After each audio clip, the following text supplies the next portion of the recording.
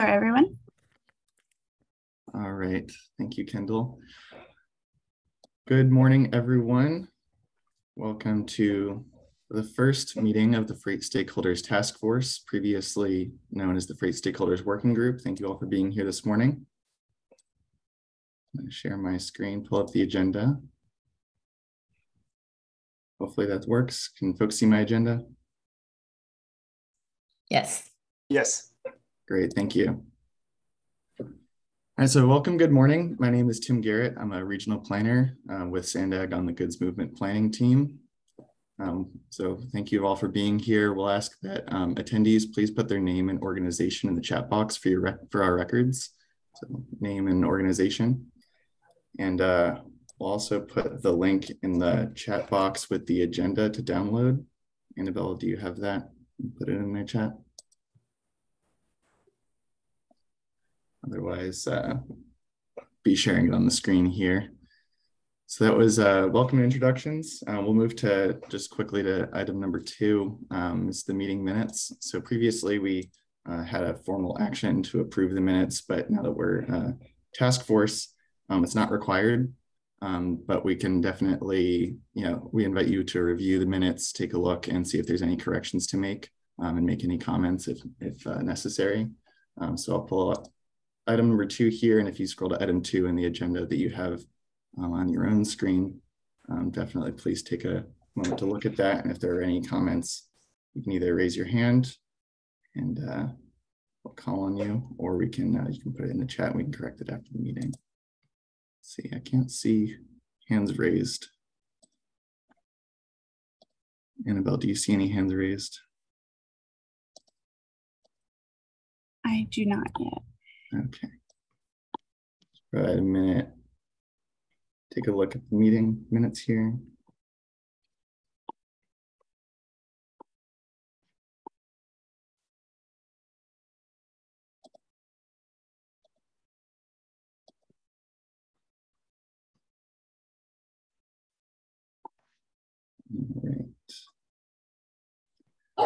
Please take a look at the minutes after the, the meeting. If you have anything to correct, um, you can definitely send me an email and we'll get that corrected for you. So we'll go back to uh, the agenda here. Uh, we'll go for public comments as the next item, number three. Um, so intended for members of the public here. Um, there's an item later on, number nine, for agency updates. So if you have an agency update, please wait to, um, to do that. Um, otherwise, if there's many um, members of the public who'd like to make a comment, uh, please raise your hand now.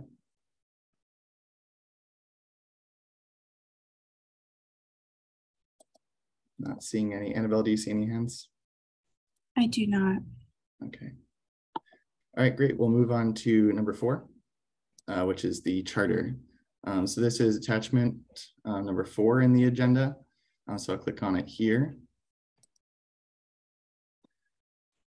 So there's uh, not too much substantive change from the previous version. Previously, this was the Freight Stakeholders Working Group, as I mentioned, um, except that uh, now it's the task force.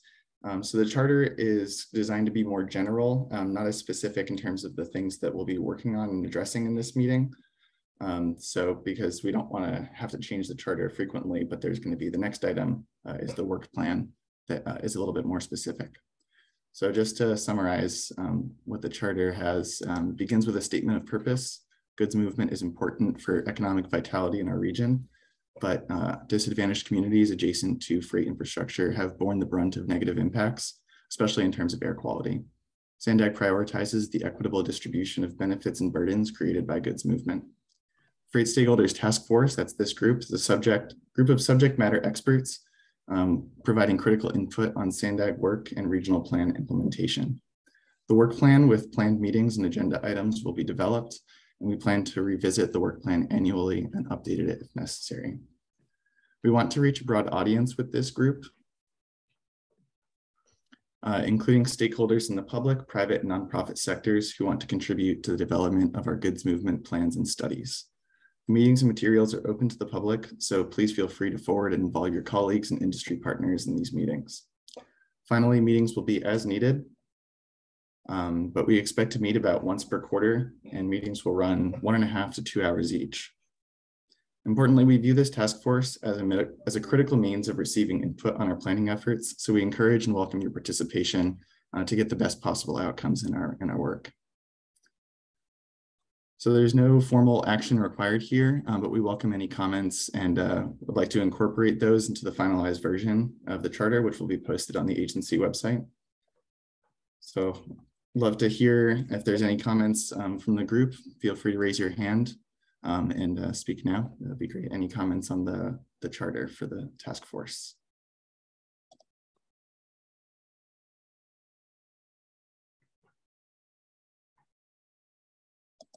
All right, not seeing any hands.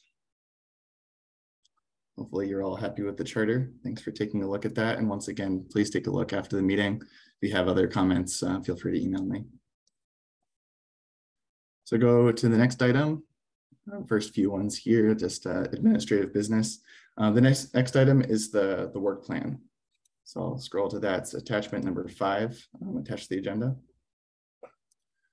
So the work plan is a companion document to the charter, but this one we expect to revisit and update annually um, to reflect current and expected work efforts so that you have an idea of what we'll be talking about for the next several meetings. So this is the first iteration.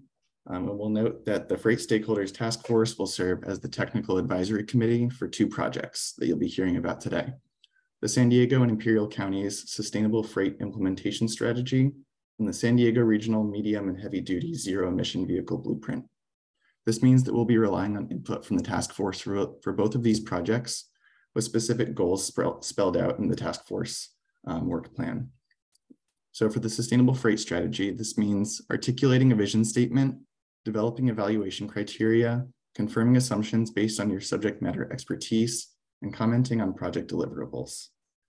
For the blueprint, the medium and heavy duty zero emission vehicle blueprint, the goals for the group include the identification of best practices, trends, and barriers for medium and heavy duty zero emission vehicle adoption, quantitative and qualitative infrastructure goals, confirming study assumptions, and commenting on project deliverables. Both of these projects are on the agenda today, uh, and likely every meeting for the next year and a half as we uh, involve, as, as we move along in the, pro in the projects. Additional topics that we expect to address um, through this work uh, task force are updates on the Senate Bill 671 work group, comprehensive multimodal, multimodal corridor plans for corridors throughout our region, and we'll have an update on that later. Um, the Port of San Diego's Maritime Clean Air Strategy and other plans, community emissions reductions plans uh, for Assembly Bill 617 communities, and we have um, three of them, the portside uh, neighborhoods, um, the International Border Community, and the Calexico El Centro Heber Corridor in Imperial County. I also expect to have items um, for projects in the working waterfront area, such as Harbor Drive and Vesta Bridge, as well as border and trade data analysis. And if you have additional topic ideas that we should cover as a group, uh, please contact me, either raise your hand now, uh, mention them, you can email me after and uh, we can include them. So once again, no formal actions required here, but we'll welcome any comments uh, and would like to incorporate those. Um, and we'll post the finalized version on the agency website. So any comments on the task force work plan? These are the items we'll be covering uh, throughout the next year.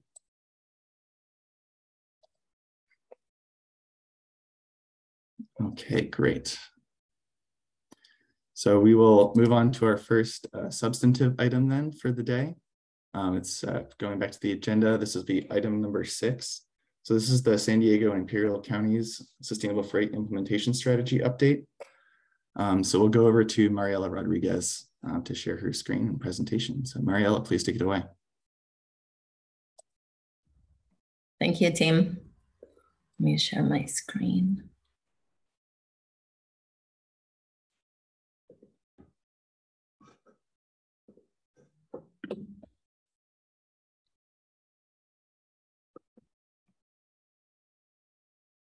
Can you see the presentation? Yes. Great.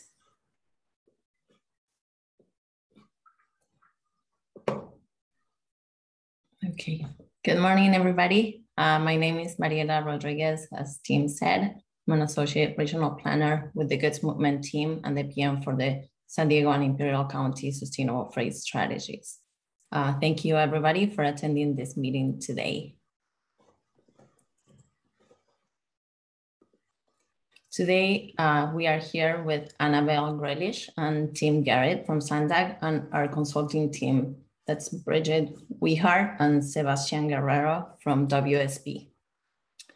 We're going to be presenting the project goals and the expected outcomes, the project timeline, and the draft existing plans and studies. Then we will be providing an overview of the best practices and draft screening framework which are the sections highlighted in pink on the agenda. During this part of the presentation, we will be asking all of you to access an application on your phone or computer to provide feedback and any comments that you may have. And finally, we'll go over the next steps.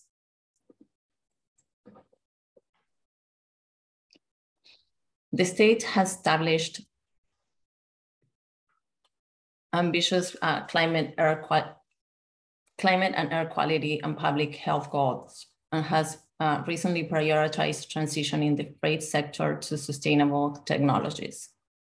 To make that, to make sure that San Diego County and Imperial County meet these goals, SANDAG and the Imperial County Transportation Commission, ICTC, is developing this strategy to systematically implement freight, freight projects and policies to transition the region to a more sustainable, equitable, and economically competitive freight transportation system.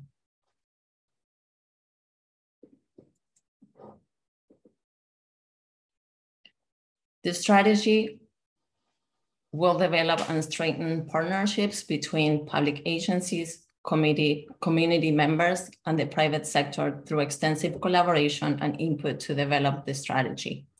We'll address environmental justice concerns from freight impacts by incorporating input from our region's disadvantaged communities through the public outreach efforts. We would also seek innovative technologies, identify federal, state, and additional funding sources for implementations of those technologies and also will address workforce gaps in the implementation, in implementing new technologies by creating a workforce development toolkit.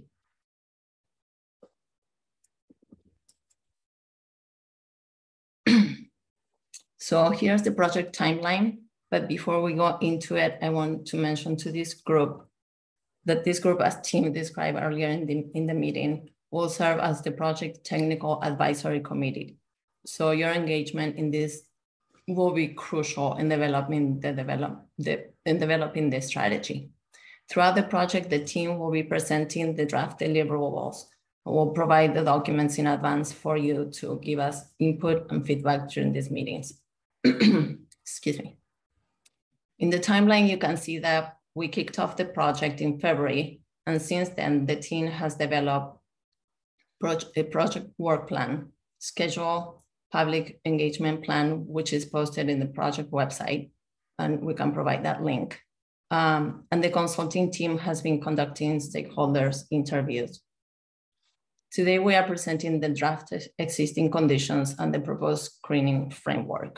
And based on your input, we will finalize the existing conditions report by the end of this month. Your input on the proposed framework will inform the innovative strategy development and screening, I will, come back to you to present the draft uh, sometime during November. Between um, the next month and the end of the year, we will conduct focus groups. And then between March and April of 2023, we will conduct public uh, surveys focused on the general public.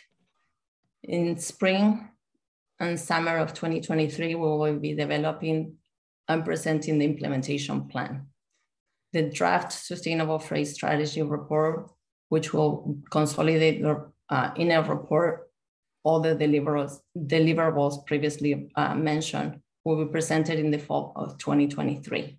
And the final strategy is scheduled to be completed by January 24.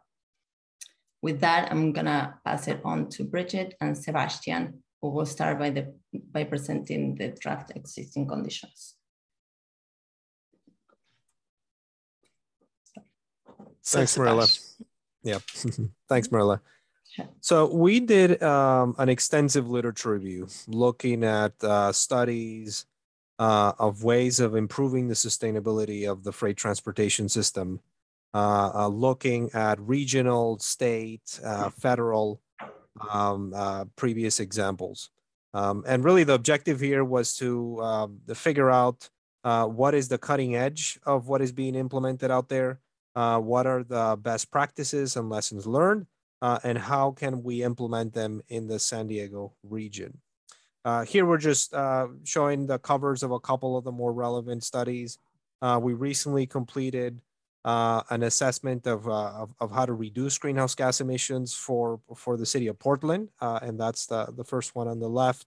there's recently from NCHRP a study on Uh, uh, uh, clean truck strategies, which was very relevant. the National Academies of Science came up with a two-volume report uh, on greenhouse on reducing the greenhouse gas emissions of medium and heavy duty trucks, and that's again had a lot of good good content. Uh, and the American Trucking Association recently published uh, their own report uh, on how to reduce emissions in the sector, and so we also looked at that as well, uh, as long as uh, as well as looking at about another 50 or 60 other studies in total.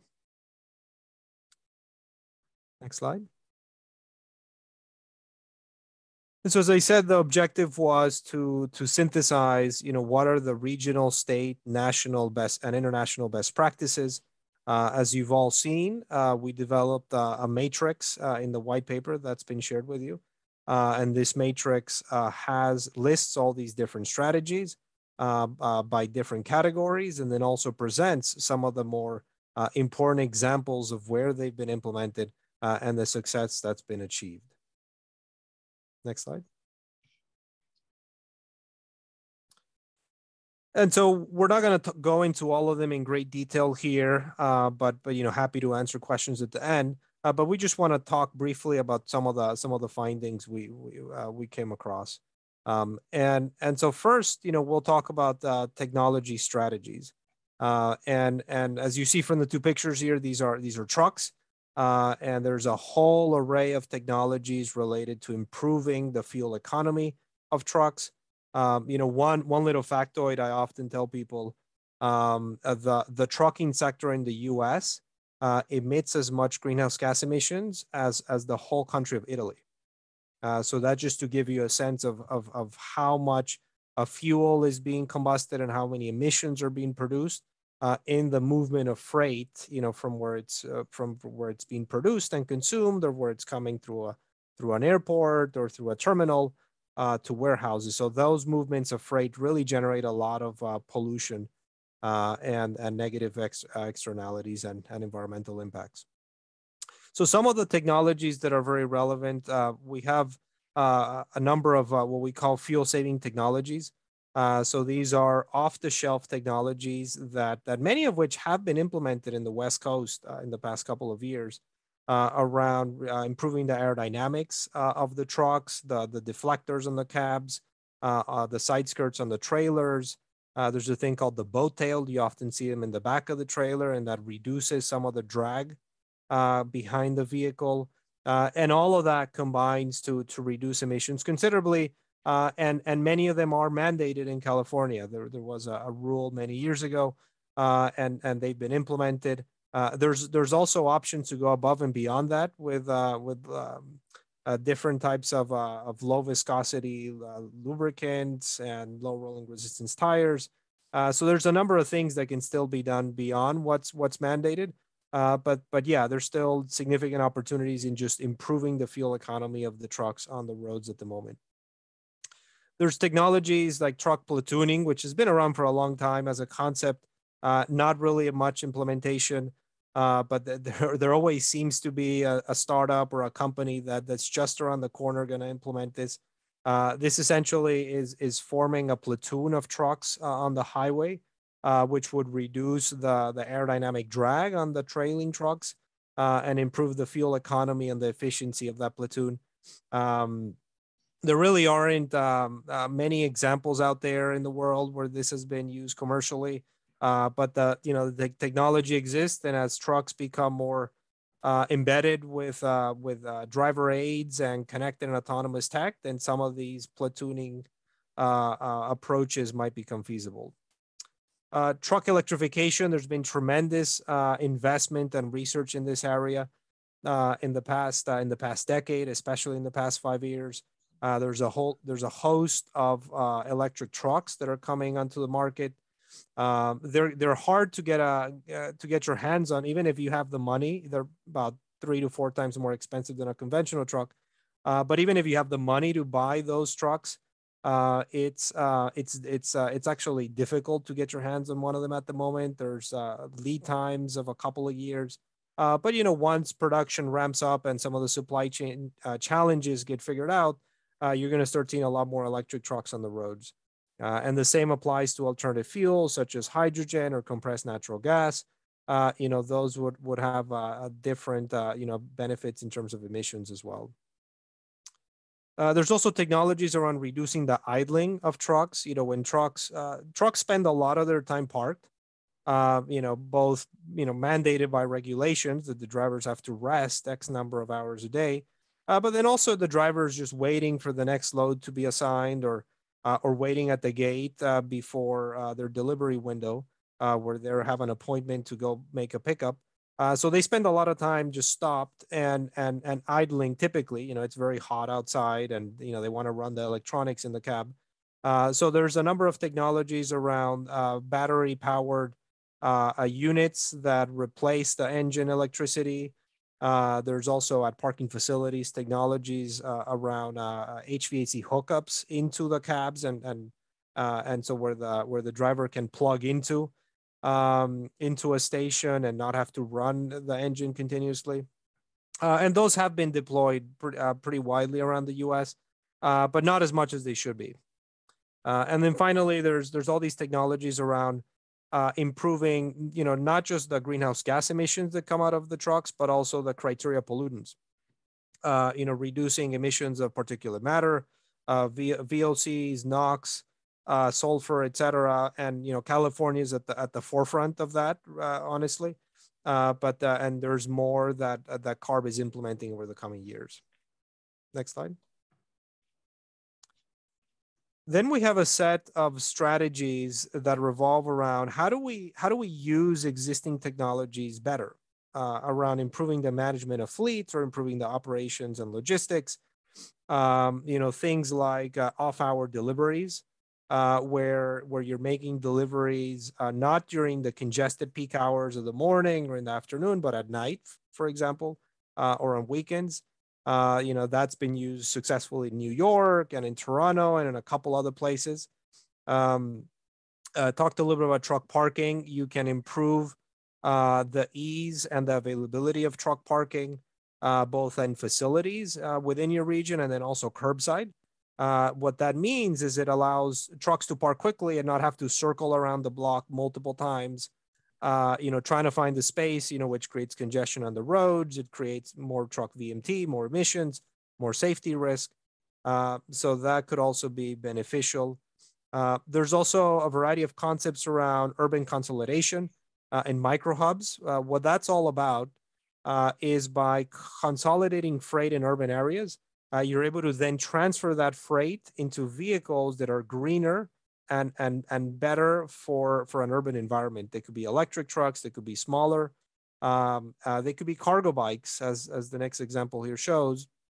Um, and and with cargo bikes, uh, actually are very efficient at delivering freight in a in a in your dense urban core uh, because you don't have to find parking. You know, it's much easier to park a cargo bike uh, than than a big truck, and so you're able to you know uh, park quickly, get your packages in and out of uh, uh, households, uh, apartment buildings, you know, wherever. Uh, and so cargo bikes have been used quite successfully in Toronto, uh, Portland, and a bunch of other cities as well.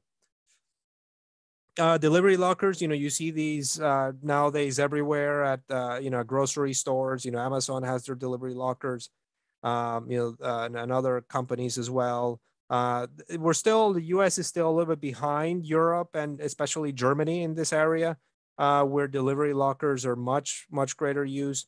Uh, that's essentially uh, eliminating that last mile uh, truck trip, uh, you know, to the person's home, you know, to the bit uh, and replacing it with with this convenient pickup location.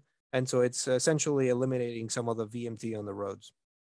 And then there's finally the potential for, you know, kinds of drones and delivery robots. Um, a lot of that is still you know being researched and somewhat speculative. But you could see you know in the medium to long term some of these technologies are replacing some of the truck vmt that's currently uh, in our cities. Next slide. And then finally we have a series of strategies uh, around the infrastructure um, uh, and uh, you know the the top one here is uh, what we call sustainable congestion relief. So you know that's that's not uh, you know doubling the number of lanes on the highways, right? That's going to cre- induce a lot more demand, a lot more traffic, a lot more emissions. Uh, but that but that's really about uh, finding what are the key bottlenecks. You know the areas in your roadway network that are causing a lot of delay and backups uh, in fixing those bottlenecks so that the network as a whole can operate much more efficiently. Uh, and that will, you know, that would essentially, re, you know, improve safety, reduce emissions, uh, and you know, benefit the competitiveness of the freight sector altogether. Uh, we also we don't want to just for you know trucks are the number one contributor to emissions, uh, but we don't want to forget about the other modes. Obviously, uh, you know, rail emits a lot less than truck on a on a per ton mile basis you know about it's about uh, half to about a tenth uh, of the emission. So so the more that SANDAG can do uh, to enhance the competitiveness of rail uh, of connecting rail uh, you know freight rail from san diego to the rest of the country uh, the, the more truck trips that can be diverted from the roadway system. So the more freight you can run you know especially those long haul you know 500 mile plus moves the more of that freight you can move uh, on the rail system, uh, the more emissions you're going to be avoiding. Uh, and so that that's critical to uh, make sure that rail can operate efficiently, has the adequate capacity, especially going up north in the coast, uh, and that your terminals ha have adequate access uh, so that freight can get in and out of those terminals efficiently. There's also dedicated truck lanes. You know, again, another concept that's been talked about for a while uh, a lot of research here. The only real example in the US is in New Jersey. Um, uh, there's been uh, uh several other um, st uh, studies and, and, projects, more prominently in Atlanta at the moment. Uh, but it's been difficult to get dedicated truck lanes, you know, for, for obvious for obvious reasons. but but when you have a, a very congested corridor with a lot of through freight, these types of lanes become uh, become much more logical and start making sense. Uh, and then, you know, we've talked about uh, truck parking, and so you can expand the parking facilities and, and make it easier for trucks to park. Again, that will improve the efficiency of your system altogether. Uh, and then there's also a variety of uh, ITS solutions, um, uh, you know, around freight signal priority and all kinds of advanced notification systems for the drivers. Uh, and we've talked about some of those uh, in the report we've put together. Next slide. So I want to uh, stop here for a moment and just uh, ask the group if there's uh, any questions or if did we miss anything, um, you know, any other strategy that we should be looking at that would, uh, you know, improve the sustainability of the freight transportation system and, and also, you know, ensure that it remains competitive in the decades to come. I mean, did, did we really, did we miss anything? Tim, can I make a comment really quickly? Yeah, please go ahead, Ty. Um, one um, other um, entity that you may wish to include, um, you know, as uh, a feedback mechanism for um, the smaller operators is an organization called OOIDA. It's Owner Operators Independent Drivers Association to give you a little bit more perspective on the implementation and uh, adoption of uh, ZEVs from uh, the perspective of the owner operator. Great. Thank you, Ty. Go. Yeah, I see a hand from Mark. Yep. Thanks. Um, I just wanted to share that for Imperial, I think it's important to note that that Imperial does does see the opportunity for more intermodal uh, connectivity um, as um, you know there are opportunities for intermodal uh, facilities north of the county um, that may tie to the future lithium extraction development um, as well as uh, other near the border.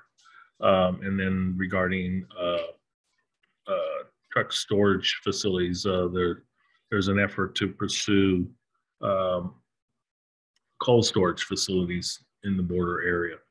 Um, and, and more warehousing is certainly is is uh, a future opportunity in the Calexico East port of entry area, as uh, there's plenty of land available, and, uh, and and of course the border has has its uh, own market of truck travel.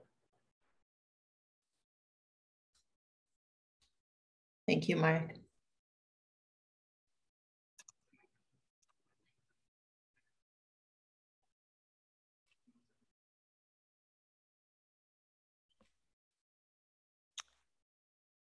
Anybody else? If you um, don't feel comfortable speaking up or are not quite ready to give your comments, you can uh, add them in the chat or uh, send them by email afterwards to Mariella or myself. Um, and our contact information is on the last slide. But anything else, anyone want to speak up now?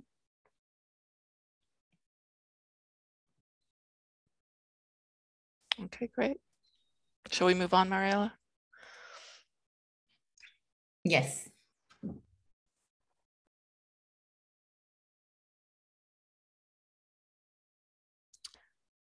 Great.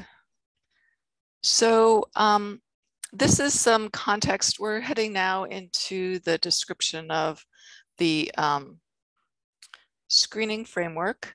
And as some context for that, this SANDAG 2021 regional plan had a definition of sustainability that is listed here, um, shown here. So it really focuses on meeting current economic, environmental, and community needs without jeopardizing the ability of future generations to meet their needs. So we wanted to keep that in mind as this is a sustainability focused effort. And the next slide. And then another piece of context for developing the um, screening framework is the uh, sort of international sustainability implementation steps. This is just one example, there are many of them, but it shows the uh, that there are numerous steps involved in developing and implementing a sustainability um, plan. So we're this effort is really sort of in the early stages of the steps laid out here, which are sort of talk and engage, assess and prioritize, which is where the, the screening uh, framework comes in, commit and collaborate um, with others uh, will also be part of this effort uh, as we go forward. And then after this um, implementation strategy, is uh, adopted, there will be uh, a need to measure and report and then educate and communicate uh, going forward. So this just kind of puts the current effort in a, a continuous um, framework. Next slide.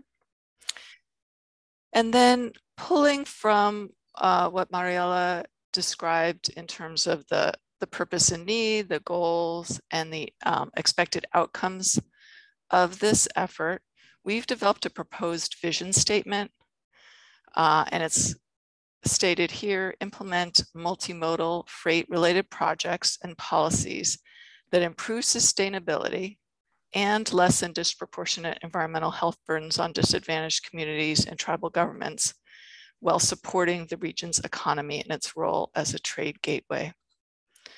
So again, the, the focus in this vision statement is really on the sustainability, but keeping in mind uh, the historically disproportionate environmental health burdens on disadvantaged communities and also the need to keep uh, freight uh, uh moving in terms of the economy.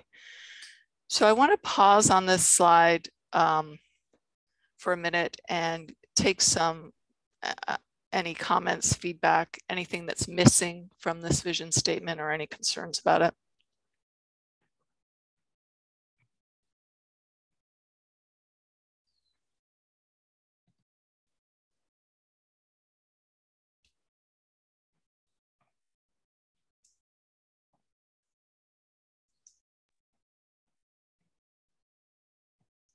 I don't see any hands or comments on the chat, but if anybody has any comments uh, or feedback on it. Yeah, hi, this is Jeff Oyos from Sandag. Uh, I have a question, Mariella, about this disadvantaged communities section here. Are we talking about the, you know, the state defined disadvantaged community, uh, AB 805, or, or are we looking more broadly? And if so, is it maybe that a different term that could be used to think about communities of concern I, um, or, or is this grant defined looking specifically at disadvantaged communities as defined by the state?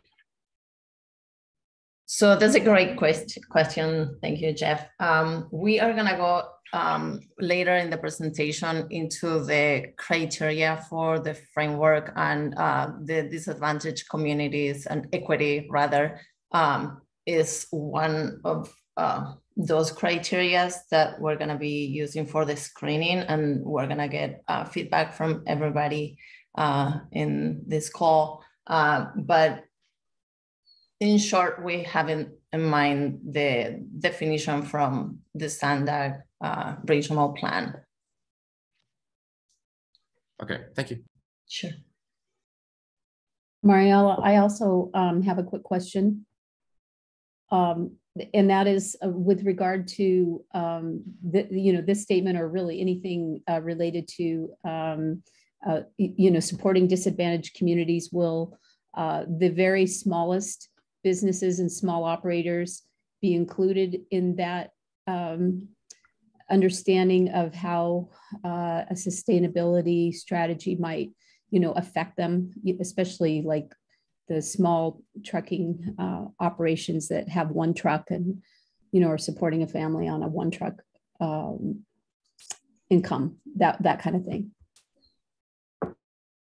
Thank you ty. Um, i don't know if um, bridget you want to chime in but um, in through this process in this early stage of the project we have been engaging with um, truck operators uh, for the, our interviews. So um, they do have a voice and they will have a voice, obviously, uh, throughout the project.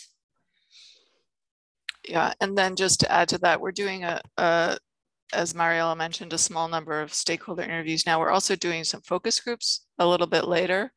Um, but Ty, we would love, we, you know, as you know, I worked with you before, it's difficult to get people uh, who are busy delivering freight or uh, especially with the current supply chain issues to uh, take time out of their busy days to engage. We are, uh, we have been successful in getting some interviews, but if you have some um, particular suggestions, we could add them to the list either for interviews and or the focus group. So we would really love to engage with a range, as you're pointing out, not just the big operators, but um, some uh, smaller ones as well. Uh, I'll um, work with you offline on that, Bridget, and, and, we'll see if we can round up a couple. How's that? Thanks. Perfect. Hello, Bridget. This is Alan V. Hill with Charger Logistics, and you you guys can count me in, my company in, to be one of those stakeholders. Um, we're we're just entering the West uh, Coast with with uh, aggressive plans for the Imperial Valley as well as Otay Mesa. Fantastic. We'll reach out to you. Thank you.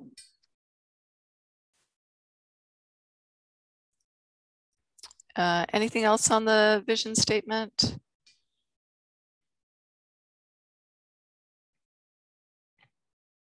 All right.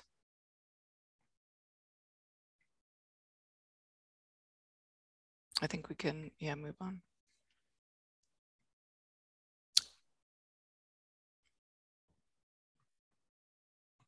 Okay, thanks. So um, now I'm going to um, describe a little bit more how we would actually evaluate the proposed criteria and scoring of um, potential projects and programs. So focusing on the areas of um, interests that have been set forth again in the outcomes and the vision statement and all of the, the context for this study, we have identified environment, equity and economy as a sort of really key focus. It's a sustainable effort, but because it's focused around freight, we also want to take into account both equity and the economy. So, and you can see at the big picture level, what we're looking at in terms of, of benefits scoring uh, is the, and this is again in the in the paper that uh, we distribute in advance, but uh, we're giving more, we're proposing giving more weight to criteria around the environment because again, sustainability is, is the reason behind this, the driving reason. So 50% of the weighting. And we would look at uh, criteria and largely this would be evaluated qualitatively impact on reducing emissions of greenhouse gases, impact on reducing emissions of criteria pollutants. And then in terms of equity, uh, we would propose to give that 25% of the weight. And uh, this may get more to your question, Jeff, that we are uh, proposing to use the definition in the um, SANDAG's 2021 regional plan, uh, the degree to which benefits accrue to disadvantaged communities. Those are AB 805 and the top 25% of those communities. That's a state definition, and then the degree to which benefits accrue to um, community-based organization network communities in the top 50%. And so um, what we're looking at is a combination of, of giving a little bit more weight or giving uh, more weight to those in the top 25% and then still though not ignoring those that are in the top 50% of those disadvantaged communities. And then in terms of the economy, uh, we're looking at again another 25% uh, total weighting. And we're looking at anything that improves the efficiency, speeds, and reliability of the freight transportation system as benefiting the economy and hopefully also it would it would uh, benefit the environment, but that would be evaluated separately. And then improving the capacity of the freight system to accommodate expected increases because they are uh, freight um, volumes are expected to continue to increase um, dramatically over the next few years. So that's the overall um, framework we're proposing in terms of the criteria and scoring. And so uh, we want to turn to Annabelle to um, take us through some polling questions to get your feedback. Thank you, Bridget.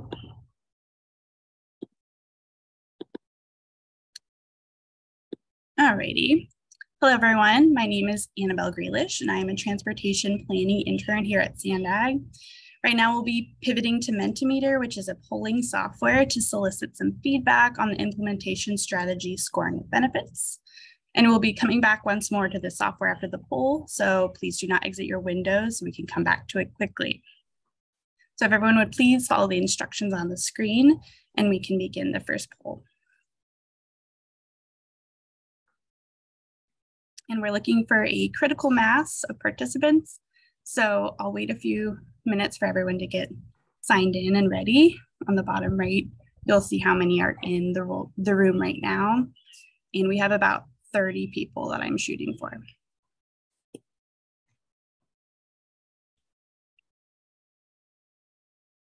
And while uh, we're waiting for people to join the room, I did see a hand from Stephen Schaefer. Um, we're going to be this is kind of like an interactive session. So if you like, Stephen, uh, hold your comment, or if you'd like to bring it up now, feel free to go ahead. Uh, maybe while you're going into it, I just, I was a little surprised there's no safety criterion in environment and equity.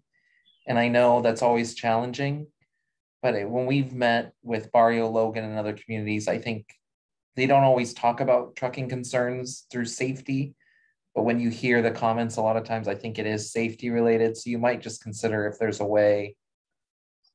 I, I know environment is usually air quality, but it's just something you might want to think about if you can integrate it in there somehow.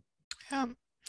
Yeah, and I may ask uh, Sebastian to help me answer this. Um, so safety was one that we, okay, whenever we develop these uh, screening framework, it's really, we try to keep it as focused as possible on the specific goals of a study because you know there's a lot of things you can study and you can really dilute dilute the um, results focus and results if you have too many criteria that are uh, sort of tangentially related. But safety is one that is, you know, core to everything to do with transportation. So we had it in at one point.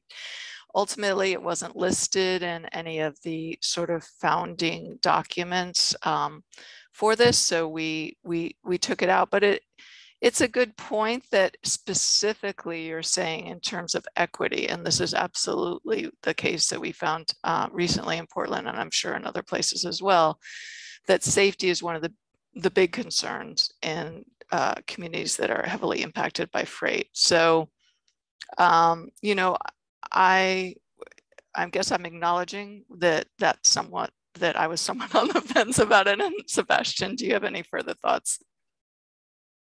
No, that I mean that that's exactly you know what we discussed. Um, we wanted to um, you know focus on a narrow set of criteria um, so that you know that that makes it you know easier for, uh, uh, for us, but but it's really makes the recommendations a lot a lot more more more powerful.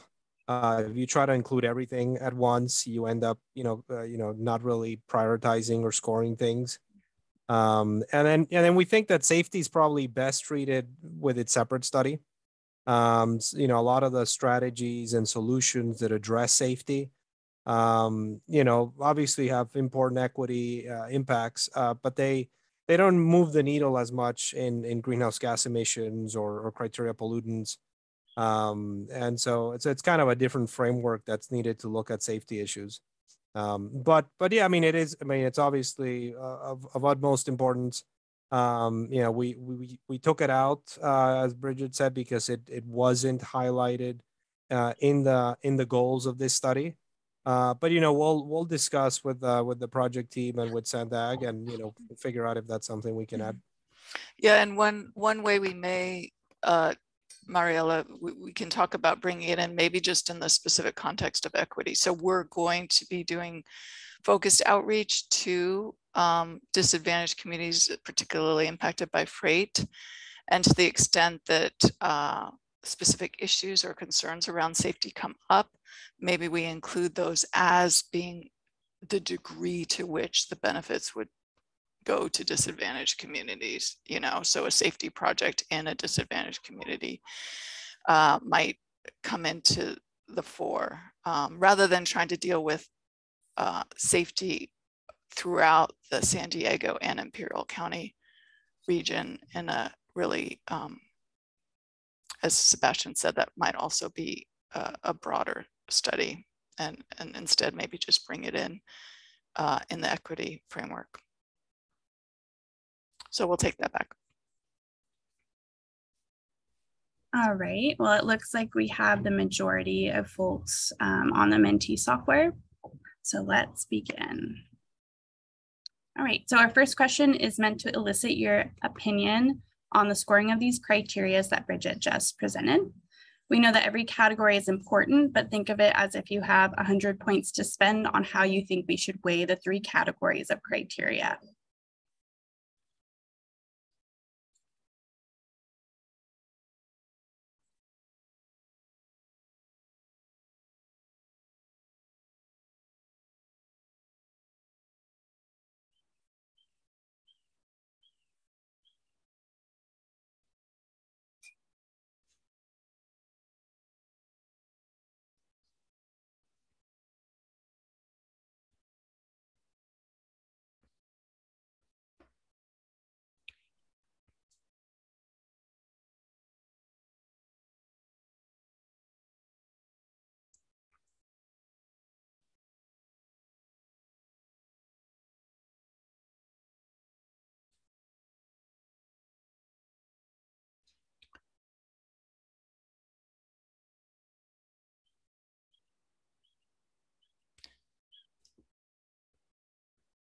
So this is interesting um, just to note that we are still seeing environment uh, as the top um, criteria, but it is more uh, evenly weighted than what we had initially proposed. So let's see if this is this trend continues, we might, uh, and then actually pretty evenly weighted with equity, interesting. Uh, so once this is finalized, we'll take this back and confer with um, our project partners.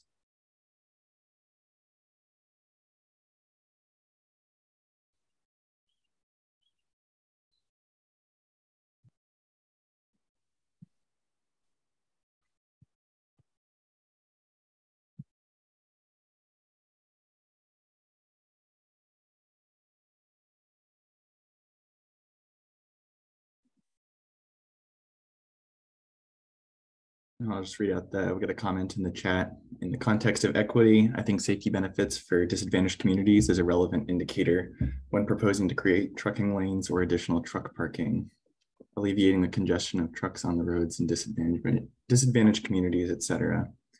That's great. Thank you for that feedback. Alrighty, it looks like we have all of our results in. So with that, let's pivot back to the presentation. But again, please keep your windows open for Mentimeter.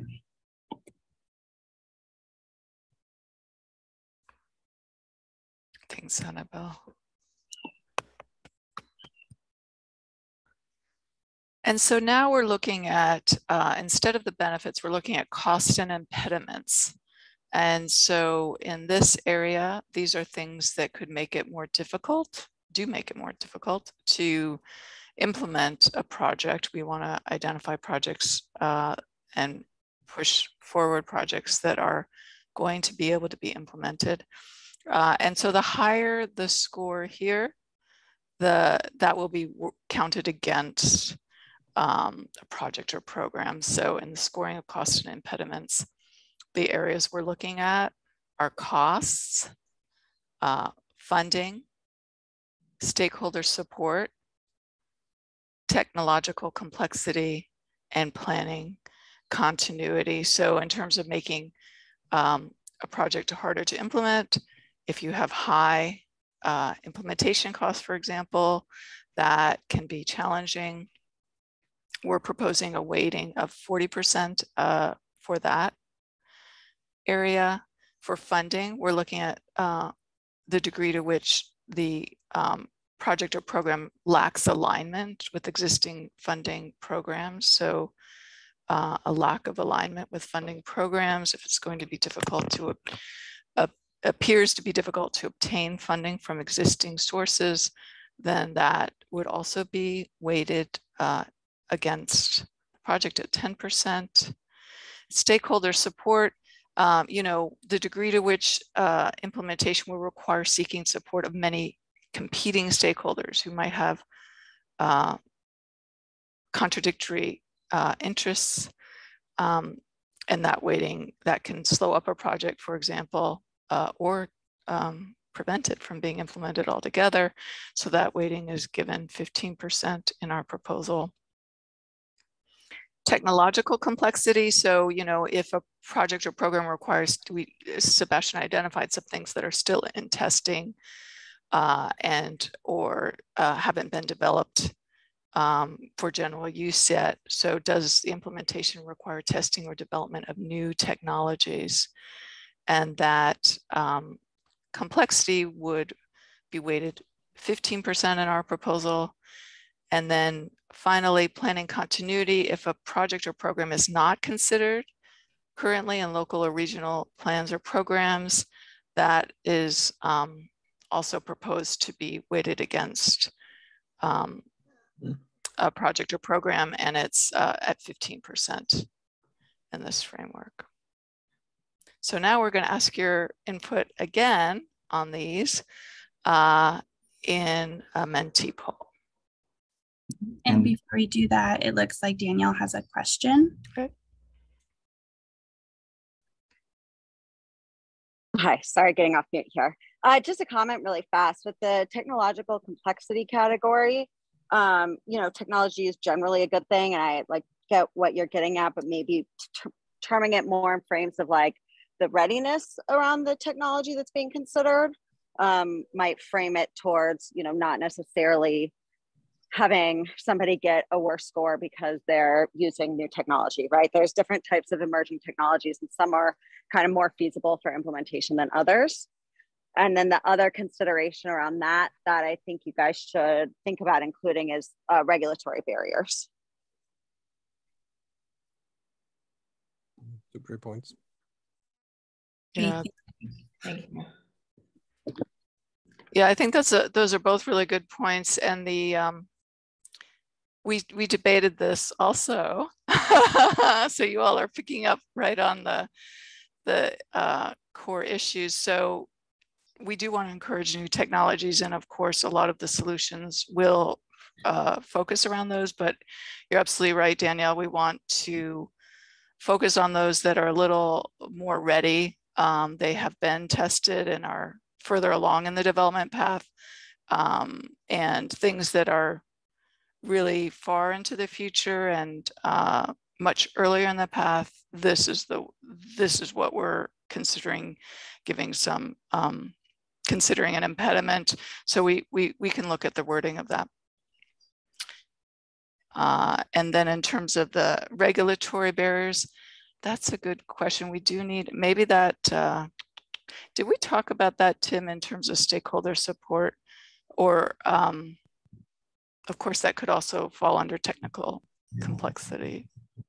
I, that's how I was thinking about it was around technological complexity because sometimes the technology is actually kind of ready from like the standpoint of development, but regulations and policy around it hasn't quite caught up. Okay. Um, so that's particularly mm. what I was thinking about. Um, that just might not be fully captured as far as implement implementability um, when you're looking at you know the technology piece and how how ready it is it's like are the regulations to support implementation there as well? Okay. Well we can certainly look at yeah we can add it um, maybe under and as another criteria under technological complexity. Or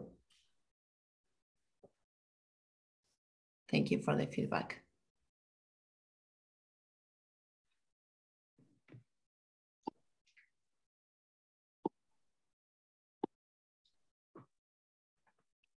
Alrighty, then we'll go on to our next poll. There you go. Um, so our next poll is um, where we're trying to understand, in your opinion, which of the hurdles that we've just discussed are likely the most difficult to overcome.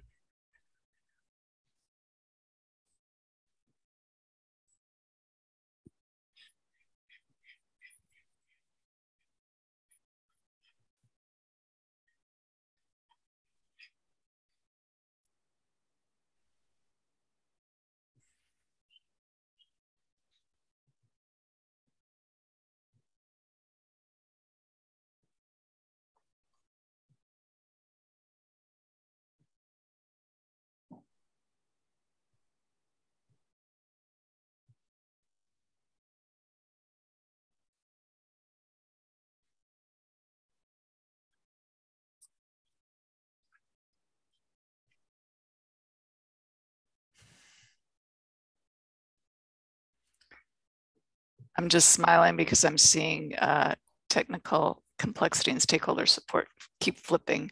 Um, so what we're seeing is uh, costs are coming in at the, the top in terms of barriers to implementation. Um, funding is next and perhaps a little bit closer than what we had um, given it in terms of weight. And I think that that makes a lot of sense um, because the cost may not be as much of a hurdle if you're able to get funding. Uh, stakeholder support and technical complexity seem uh, really evenly weighted here, which is what um, we had proposed. And then planning continuity, a little bit less so maybe, maybe people think uh, innovation and, you know, the region is willing to um, change its plans and adapt them to the future. And I want to acknowledge there are two comments in the chat box. Uh, one from Andrea, and she said, I agree with Ty that smaller trucking companies that are themselves members of disadvantaged communities should be considered in equity criteria. And the second one is from Ty. Uh, innovation often goes hand in hand with technological complex, complexity, so perhaps lower the weight there. Maybe add policy complexity. Thank you for the feedback.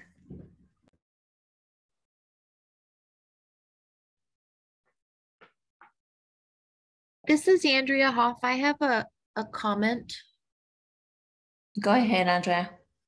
Um, I'm just thinking methodologically, um, if those 10 points, um, two things. One is a question if there's going to be different measures. I know you said they were qualitative measurements. If it is qualitative, it might be challenging to assign, you know, eight versus five points. It might be better just to do like a one, two, three rather than all the way one through 10. Um, and then the question is, are there going to be specific measures that go into that, that scoring? Or is it just, like you said, qualitative, sort of subjective, assigning a two or a six? It might just be easier to go one, two, or three, high, medium, low. Just a comment.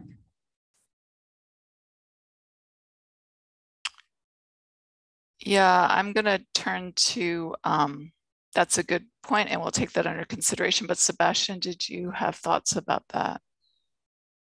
Yeah, so uh, we do intend, while while the scoring is qualitative, uh, we will uh, use as many measures and data as possible to inform that qualitative scoring. Um, I mean, the purpose of the scoring is really uh, to rank uh, strategies and projects against each other, right? Uh, and so it, so it's going to be relative anyways, uh, whether it's a one, two, three, or you know, where we pick a, a one, five, ten. Uh, it won't really matter ultimately, um, but uh, but yeah, so we we do want to. Um, you know, bring in as much uh, data and evidence as we can in this project uh, in scoring uh, the different strategies.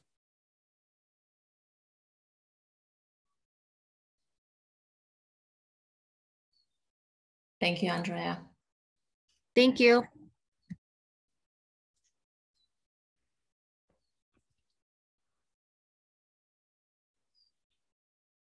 All right, let's give it one more minute and then move on to the next one.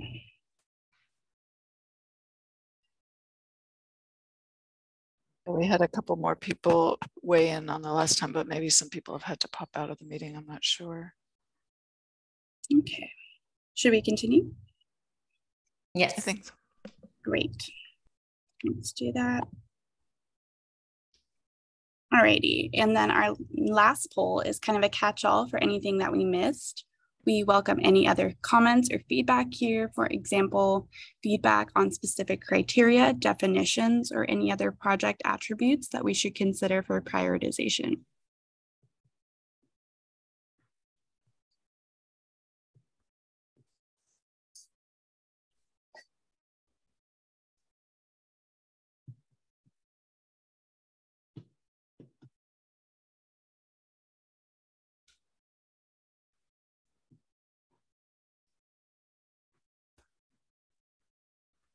And then just to clarify, Annabelle, people can type, right, um, what they want into this poll. Maybe Yes. people already felt they got it off their chest when we had the discussion, and that's fine. But if if anyone's confused, go ahead and just type it in, a few words, it's a phrase. Yes, thank you for clarifying.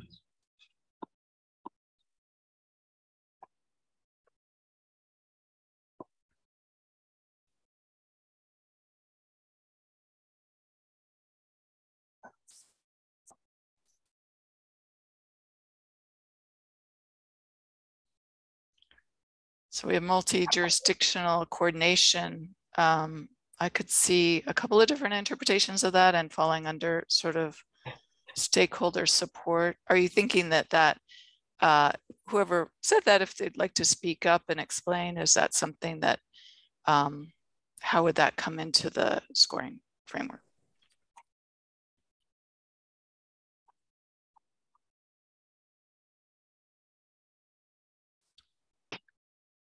Hi, Bridget. This is Diva from Fehr & Peers. Um, that was my comment. Um, a lot of the times, the most important projects are the most complex. So I guess it falls under technical complexity, but I think it's overlooked a lot. For example, I'm working on a project in Boggs Tract in the city of Stockton, but the neighborhood is in San Joaquin County and the Port of Stockton is right next to it. And the projects in that area have just been very difficult to implement because of all the coordination that's needed to be involved in, in Caltrans and the um, um, the county planning organization. Um, it just it's just a factor. Mm-hmm. So that would maybe be a impediment to implementation and the way you're describing it. It might I, I would maybe put that under stakeholder support that it requires support of many competing stakeholders, including multi-jurisdictional under that. That's a good point. Yes.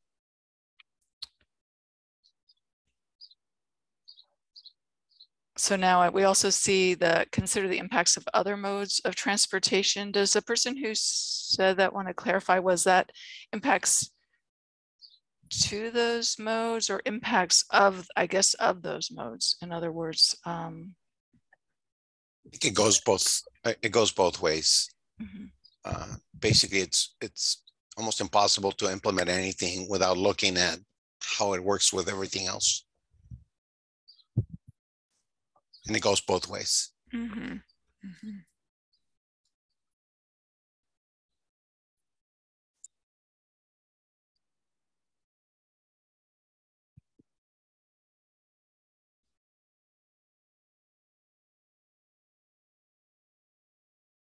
Someone suggests we look at uh, others approaches from around the country. Um, we certainly did look at those in terms of the best practices, but I think what specifically this comment is saying, did we look at it in terms of the, the scoring and the measurement? Um, and I'm sure we did, but uh, Sebastian, do you have any thoughts about that? Yeah, uh, we we looked at those. Um, you know, we've we've implemented, as you know, Bridget, similar scorings elsewhere uh, for for a variety of other cities. Um, yeah, um, it, the the person that wrote this comment, do they have any specific example or uh, or scoring framework uh, we should also be looking at? Hi, Sebastian. This is Maurice Eden with Caltrans. Um, I wrote the comment. I I didn't have any like top of mind uh, other um, thoughts on approaches, but was just curious on you know how what we're looking at and you know the methodology that you guys have been discussing, how that aligns with. Um, I mean, even if you just constrain your look to, let's say, California, you know, you can look at the Bay Area, you could look at LA Long Beach, and you know see if we're uh, you know from a methodology standpoint if, if we're close to what they have not to say that they're right and we're wrong or you know we're right and they're wrong but just to see if there's you know other things that um, that we may want to consider okay.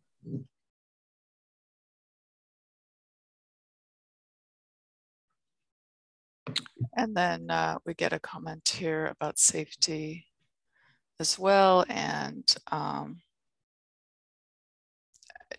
again, the nuance between different scoring um, uh, thresholds. Do we do one, two, three? If we don't have enough nuance to distinguish, say, a seven from an eight. Uh, so we'll need to be careful how we, uh, that, that we're able to explain how the different scores are assigned. And we may want to simplify some of them, uh, perhaps. Okay.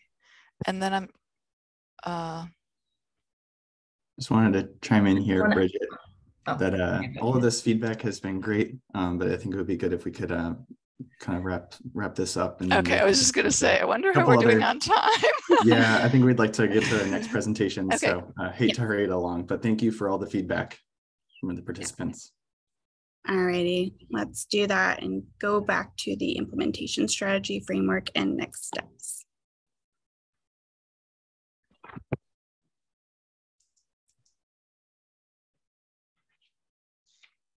Okay, so we're going to take all the feedback we heard um, from the task force today uh, and uh, work with our project partners to finalize the uh, scoring framework, prioritization framework, and then projects, programs would be ranked um, as they're developed in the next um, task according to the implementation strategy score, which would be developed uh, as shown um, in this formula. So the score would be the benefits uh, total score over the cost total score.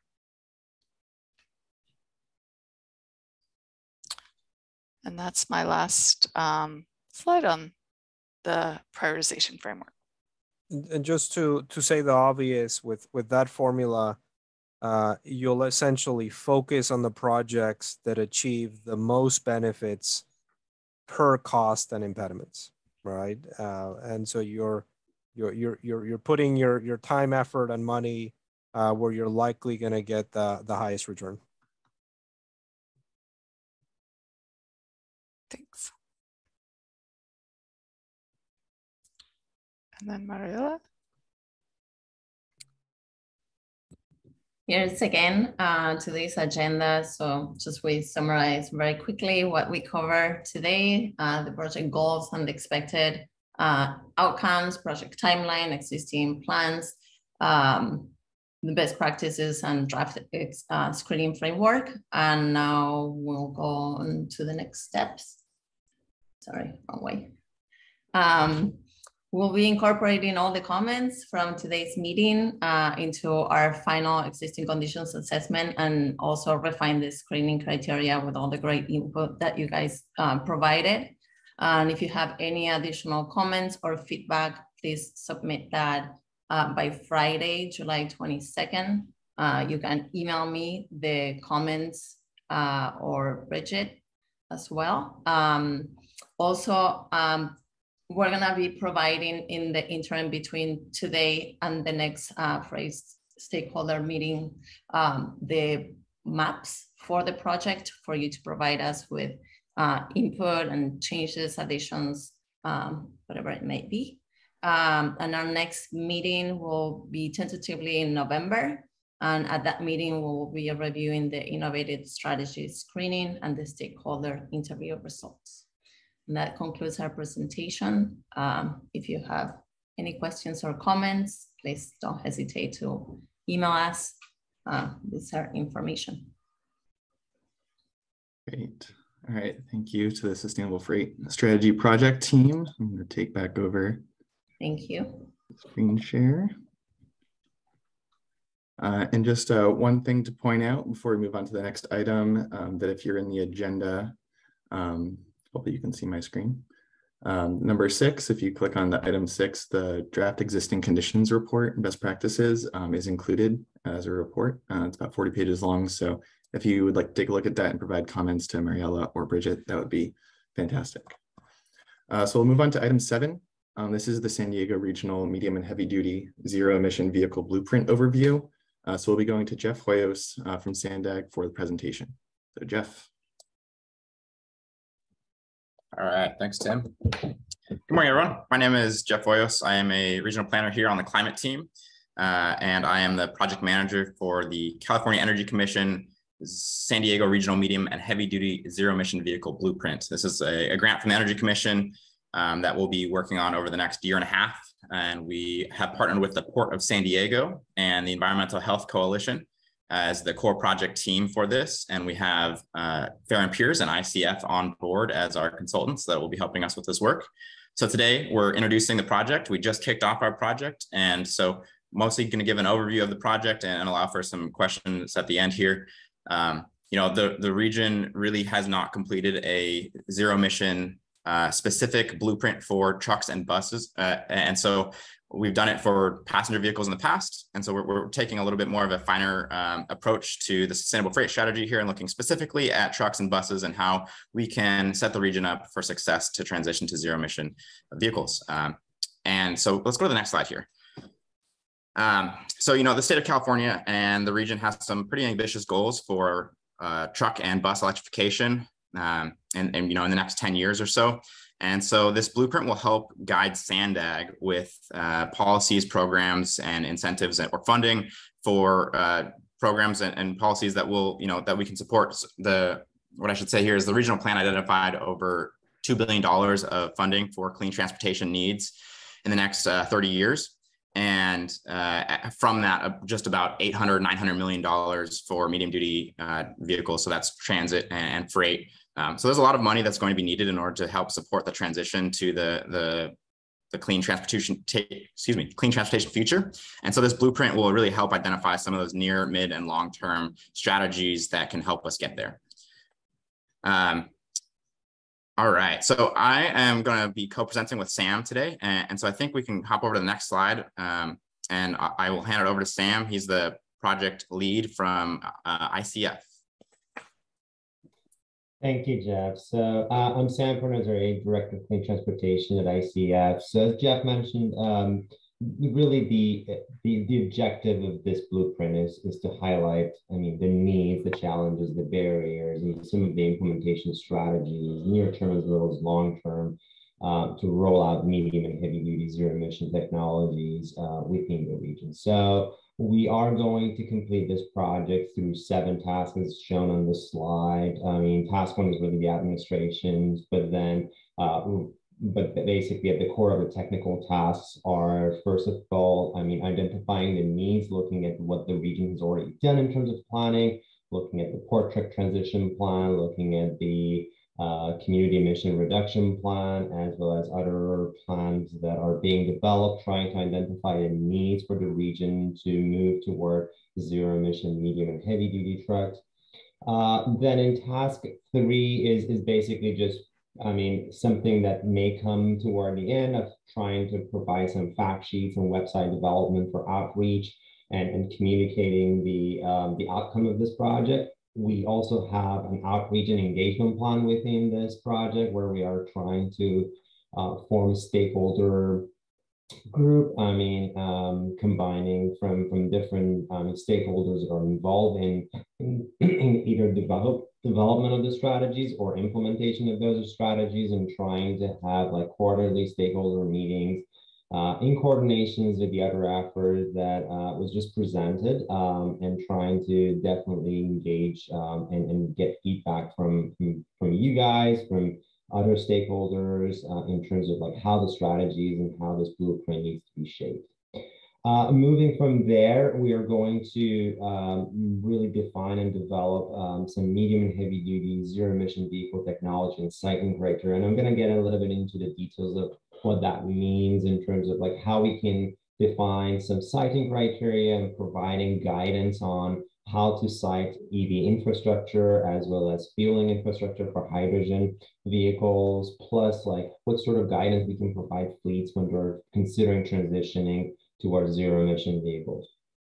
At the end, we're going to really define some implementation strategies and, and trying to look at not only the things that SANDAG can do, but also the variety of stakeholders that are getting that are being involved in this project, what sort of actions they can take in the near term as well as long term to um, to accelerate and facilitate this transition towards zero emission uh, medium and heavy duty vehicles. Maybe we can go to the next slide.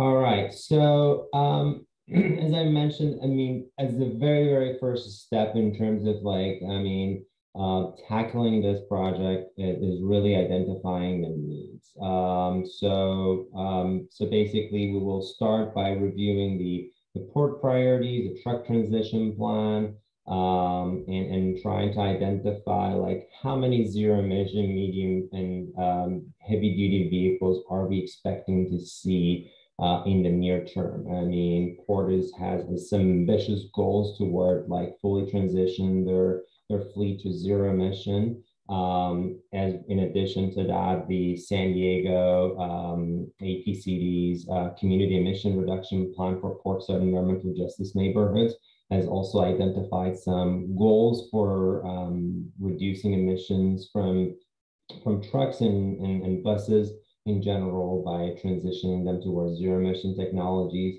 So a compilation of these reviews will let us know like what sort of how many num what number of zero emission vehicles and what needed charging infrastructure should be there in order to, to meet those goals. From there, we will um, try to do a market study. I mean, by market study, we're going to look at like, I mean, today, how many zero emission truck technology models are out there? I mean, what are the total cost of ownership of those? what is the status of the charging and fueling infrastructure within the region? I mean, what sort of, I mean, charging infrastructure are these vehicles, these vehicles need? And what sort of charging infrastructure is already being deployed? And, and try to also, I mean, bring in a perspective from some of the pilots that have been implemented within the region or even outside of the region within California and trying to shed light on what what's the status of the market today? What's the status of the market in the near term within the next two to three years? And, and how fast this transition can really happen?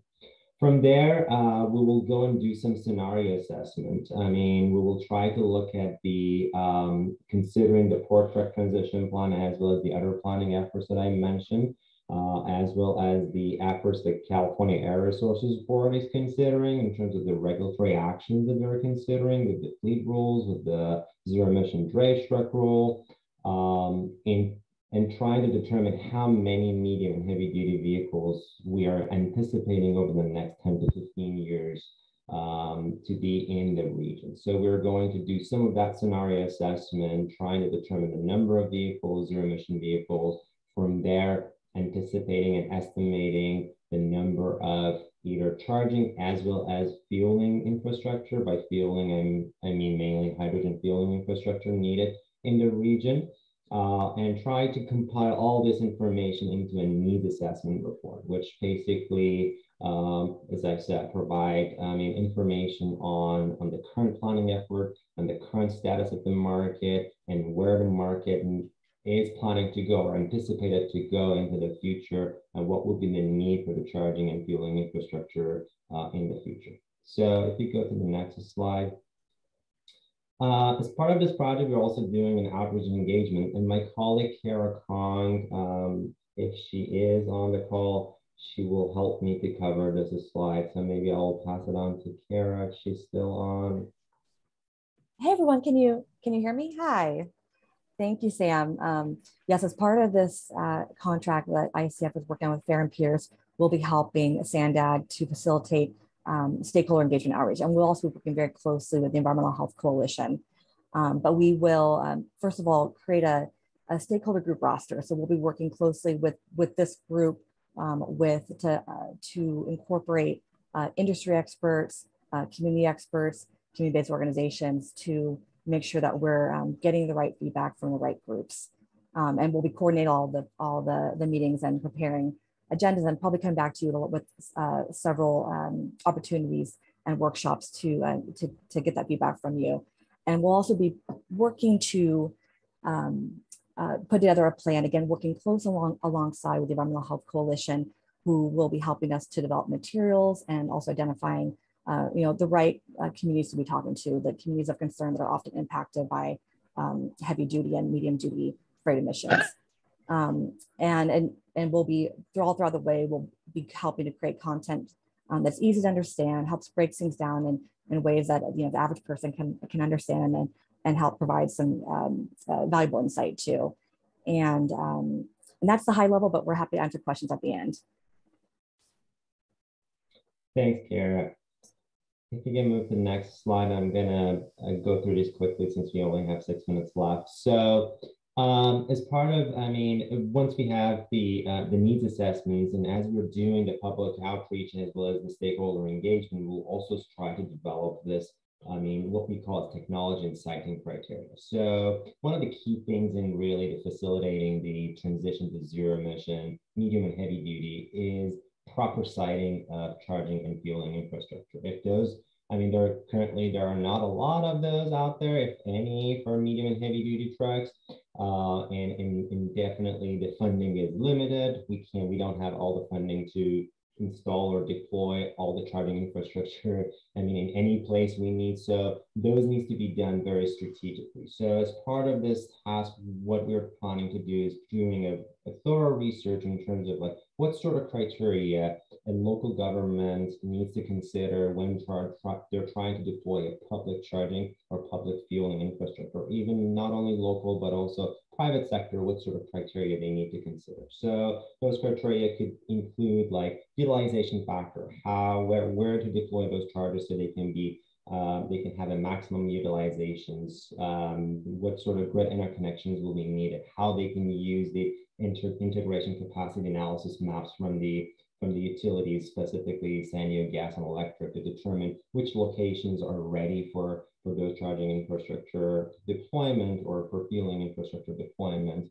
And also definitely considering and bringing equity into, into this whole uh, equation for, uh, for, for determining those siting criteria. Aside from the siting criteria, we're also trying to develop I mean, some criteria for fleet to determine like what technology best suits them when they're trying to transition to zero emission technology and providing that um, guidance to fleet as they're considering uh, moving away from combustion into a new technology where I mean, basically, they may not already, they may not have all the knowledge that they did with the combustion technology in the past. So moving to the next slide.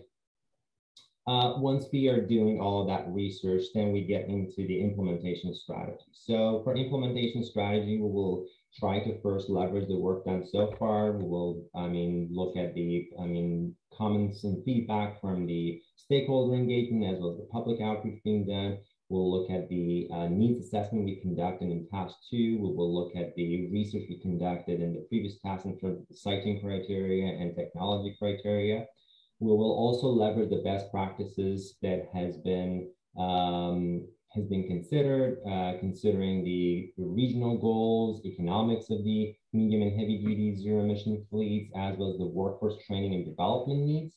And with all of those uh, elements, uh, we will try to lay out some near-term as well as long-term implementation strategies. Those could be like effective incentive programs and technology demonstrations. Those could be some local policies for permitting, fee-based public outreach and education, and also, I mean, strategies that can really enhance equity and advance environmental justice outcomes of this transition to zero emission uh, technology, where those infrastructures needs to be deployed in order to um, increase the operation of those zero emission technologies within those disadvantaged, low-income disadvantaged communities.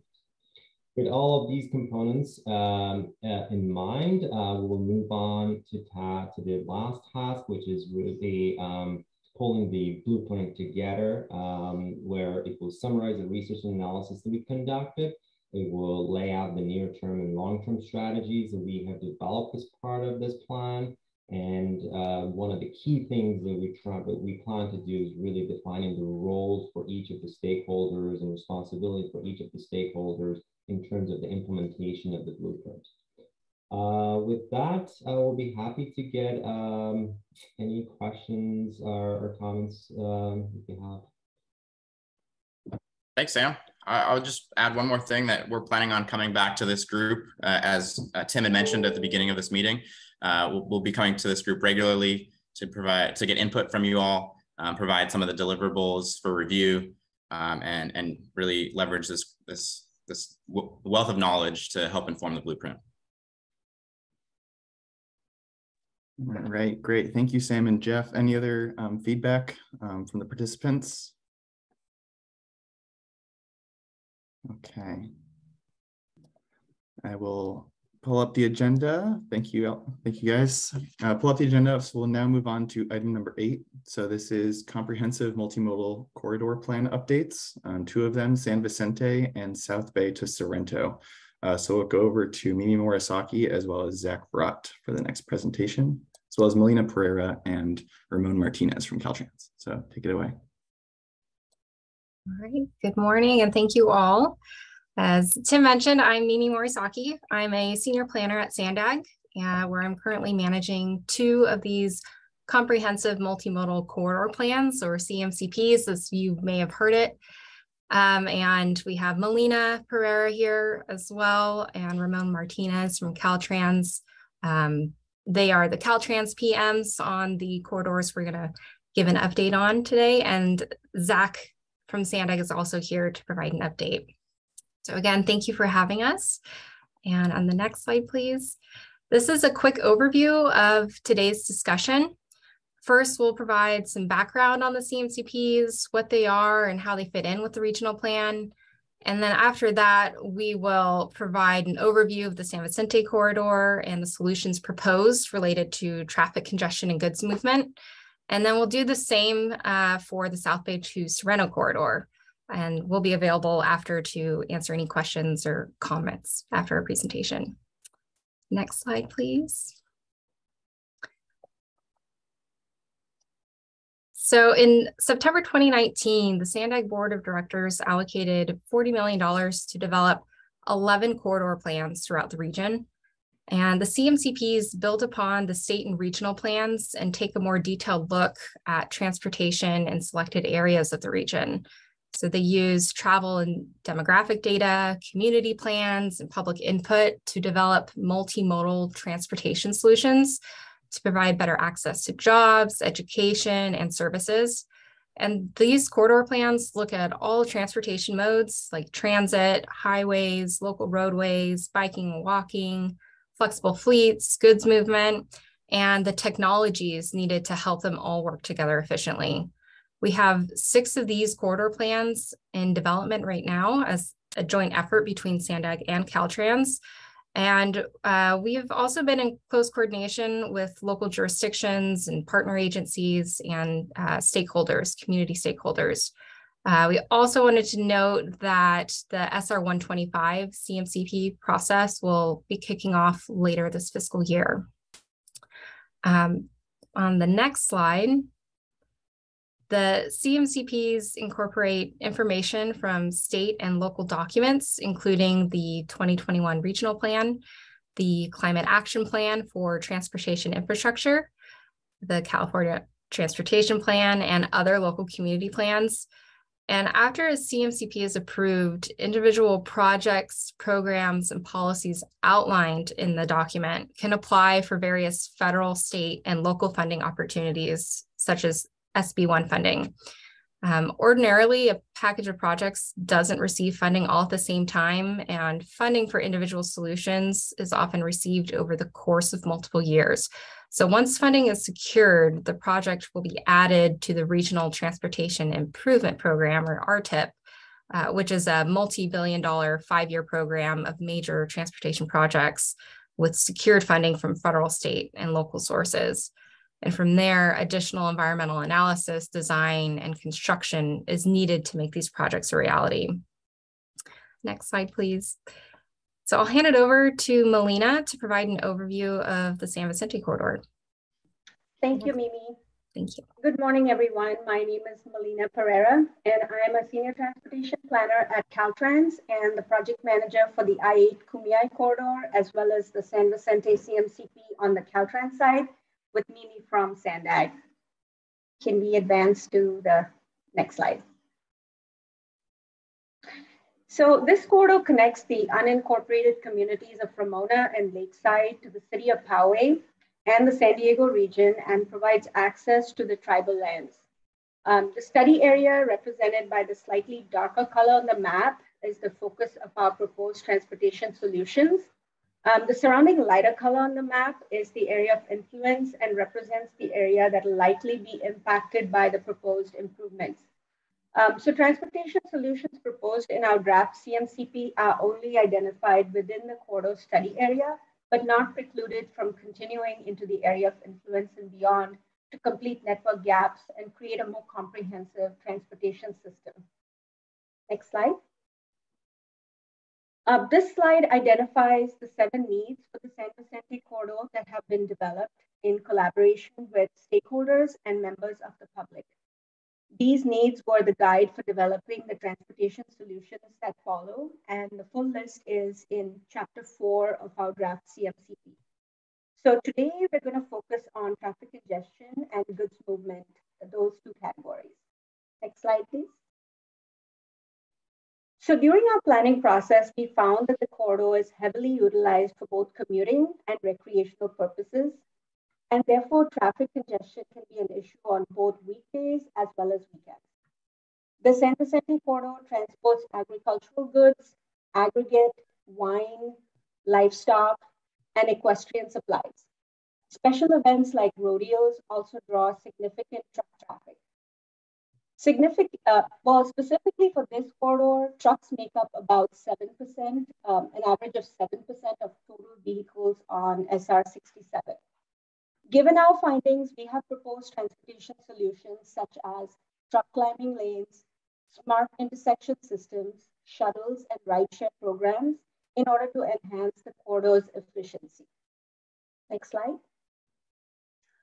So the draft CMCP was released for public review on May 31st, and the public comment period will close next week on July 30th. Uh, the final CMCP document is expected to be completed by September of 2022. Next slide. So the draft CMCP can be accessed on the Virtual Engagement Hub for review and comment. There's a QR code on the slide that you can scan. Um, the website address is also shown on the slide. And here are the various ways to communicate with us regarding this project. Uh, we look forward to the discussion after this presentation.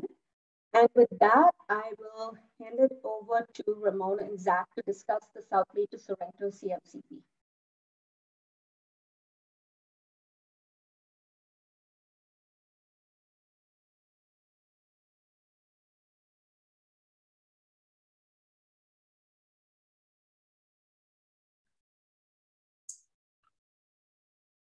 Okay, uh, thank you, Melina.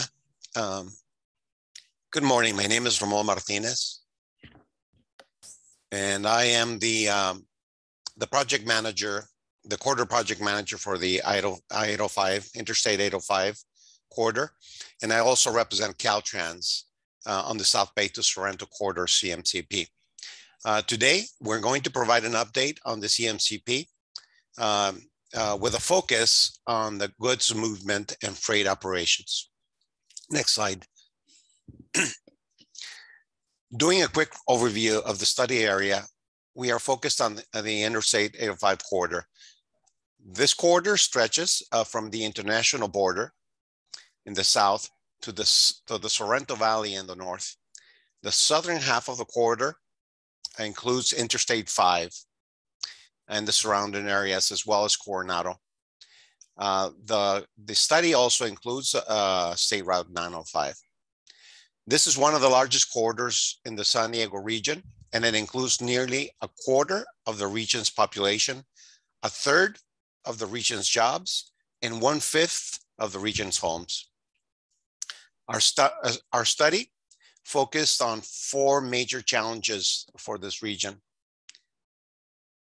Um, the first one is um, mobility concerns for all modes that are prevalent in the corridor, including a lack of north-south connections for transit, uh, gaps in connectivity for cyclists and pedestrians, and significant congestion and delays uh, on highways that affect commuters and goods movement.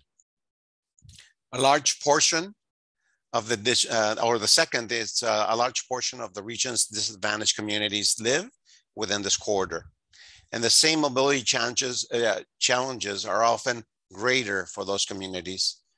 These areas often lack high quality connections or transportation connections uh, that are uh, and are faced with long travel times to get to jobs and other destinations. The third is uh, considering the environment. This quarter has uh, major challenges with air pollution and air quality, as well as threats to our climate uh, uh, that climate change uh, poses on transportation infrastructure in the corridor. And the last is when we when we look at land use, issues arise because of the sprawling nature um, of the corridor, the lack of diversity of land uses that are close to each other, and this leads to travel times that are uh, between housing and employment centers. Uh, slide 15, yeah. Uh, to get a feel for the public's perspective on this corridor plan, we conducted extensive public outreach. It included uh, 3,500 visits to our virtual engagement hub and over 300 survey responses. As part of this outreach, we also hosted several stakeholder and public meetings attended by hundreds of people from the region who live, work, and play in the corridor. We also conducted specific stakeholder and industry outreach, including uh, prior visits to freight stakeholders, uh, the, the, the, freight stakeholders working group, which is you, uh, that was done back in February of 2021.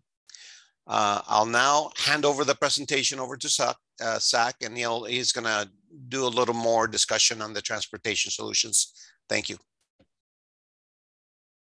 Thanks, Ramon. Uh, hi, everyone. My name is Zachary Brott. I'm a regional planner here at SANDAG. Um, and here on this slide, we see um, some of the major freeways in the corridor, like Ramon discussed. Um, we see some of the major points of congestion that we have in the corridor indicated in yellow and orange. So along I-805 and I-5, our study area contains three of the most 10 congested areas and 10 of the top 50 most congested areas in the region. So anyone who travels on the 805 during peak hours is definitely well aware of this. Uh, but the busiest parts of our corridor lie in the middle of the study area between SR 94 and Interstate 8. You can see that grouping of the orange and yellow dots there. Uh, during peak periods, we also see significant congestion farther north at the interchange with SR 52 and along Interstate 5 as it passes through downtown San Diego. Additionally, we see on this map some of the most impacted points for goods movement traffic in the corridor. And as many of you have probably experienced, uh, there are several throughout the study area. They include the warehouses up north in Miramar and Kearny Mesa, uh, coastal transport and gas companies going east and west on interchange uh, at Interstate 8, uh, along the waterfront ports in San Diego and National City on Interstate 5, and along the international border uh, at both San Ysidro and Otay Mesa. The next slide, please. So to mitigate these issues, our study team has developed a list of over 300 transportation solution strategies to improve circulation and safety throughout the corridor. Of these solutions, 98 of them include a focus on goods movement in the corridor. And here we see some of the major projects that we identified. Uh, the Harbor Drive improvements um, will ameliorate congestion issues along the waterfront. Uh, the Port of San Diego, the National City Marine Terminal, and Naval Base San Diego, this will run along Harbor Drive and Interstate 5. Uh, these improvements will be multimodal, so they'll include a variety of improvements for passenger vehicles, commercial vehicles and trucks, cyclists, pedestrians, transit, and it'll make a better and safer experience for all users. Uh, second, we have the Otay Mesa East port of entry, which will provide a third border crossing with a focus on commercial activity and goods movement. This is one of SANDAG's priority projects in collaboration with Caltrans and other partners. And when it's open, when it opens, it's expected to reduce border wait times significantly at all three ports of entry, allowing for smoother border crossings for users of all modes and making transnational travel more efficient and economical, uh, especially for trucking and goods movement purposes. With shorter wait times and fewer vehicles stalling near the ports of entry, we should also be able to see significant air quality improvements uh, along the border region. And third, here we have the San Ysidro Mobility Hub, which is another multimodal project uh, that will improve operations for freight carriers as well as other users, taking advantage of new technology improvements included in our next operating system and other enhancements for a better overall experience around the border. Uh, across the corridor, we have a system planned of managed lanes, including HOT lanes, uh, potential truck lanes, and dynamic lanes proposed for I-5 and I-805 to better manage congestion and new technology to support autonomous vehicles, vehicle to infrastructure communications, and manage lane implementation that will make for a smoother overall experience along the corridor. The next slide, please. And so as we look ahead, we're just about ready to finalize the corridor plan. Uh, so we're really excited to get it done and look forward to funding opportunities for some of the projects in the plan, which we're already looking for some managed lane connectors um, as part of a, a, funding opportunity this fall. We released the draft CMCP to the document on June to the public on June 17th. Um, and our comment period is open until next Friday, July 29th.